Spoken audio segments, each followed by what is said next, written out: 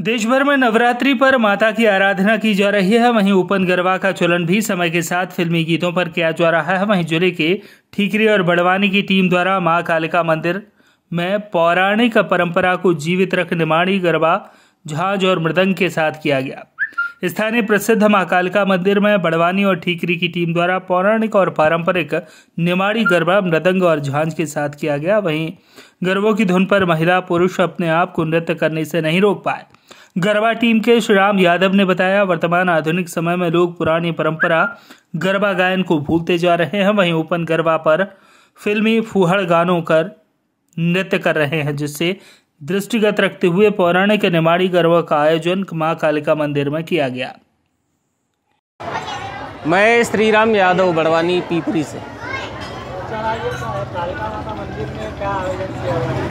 अभी माता की भक्ति रानी के जैसे दिन चल रहे हैं, नवरात्र गरबा पूरे देश में हो रहा है। उसी तारतम्य में जो पौराणिक और पारंपरिक गरबी गायन गांव-गांव में हुआ करता था, अभी कुछ गाँव में होते रहता है।